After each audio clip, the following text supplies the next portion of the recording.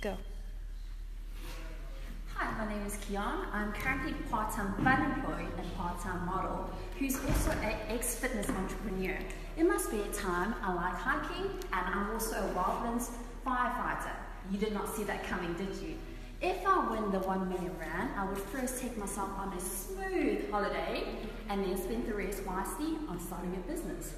And who would I love to be strategically paired to win that 1 million? Obviously be Ntando. Why? Because she looks fierce, determined, and is a fighter. So Team Pineapple, we will see you on Carousel.